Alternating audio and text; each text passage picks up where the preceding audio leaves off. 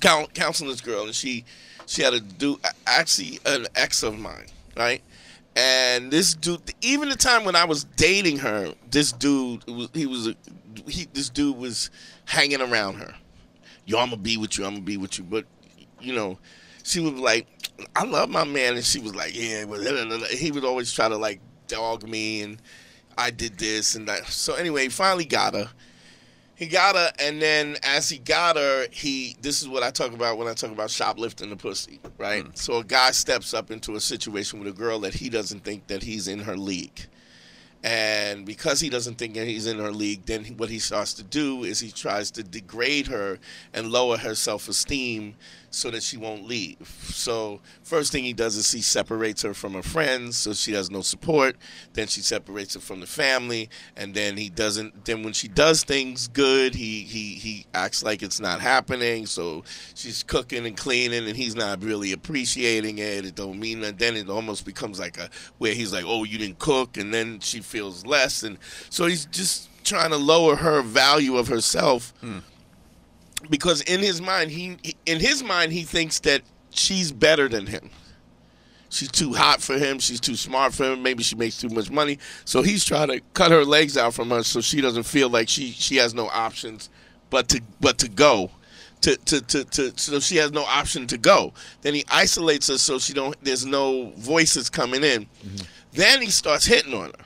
Starts smacking her upside the head. It becomes a smack in the head, then a smack in the mouth, then it's a choke, and you know, and then it progressively gets worse. And when she called me and she told me about it, I go, "Look, you, this is not okay, right?" So he's wait. All, that's your ex you're talking about? He's an ex, yeah. And he he took her from you? No, no, no. I I broke up with her, and oh, she. Okay. You know, she reached out for help years later, mm. advice or yeah. and her. so the dude was like, and I so I told her I said, uh, so she kept trying to break it up with him, and then I said, "Well, how many times did you break up with him and get back with him?" She said, 17 times." Yeah. And I said, "You, there's no, cre- you have no credibility. He doesn't." She goes, "Well, we finally ended it."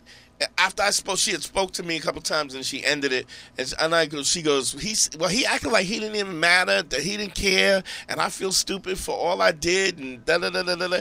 And I go, "It's not over." Mm-hmm. It's not over. I said, but what you have to do is you have to not accum- you have to not communicate with this crazy dude because the only way somebody can manipulate you is if they talk to you. If I don't give you an opportunity to talk to me, you can't you can't you, you can't manipulate me. Why do women stay with men that they think are pieces of shit?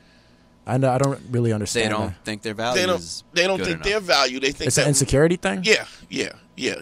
Young man school 202. Better hear what I've got to say because you won't get it again. I'm not an alpha male. I'm not a beta male either. I'm just a better man. Better man. Well, put your happiness first, because if you don't, they won't.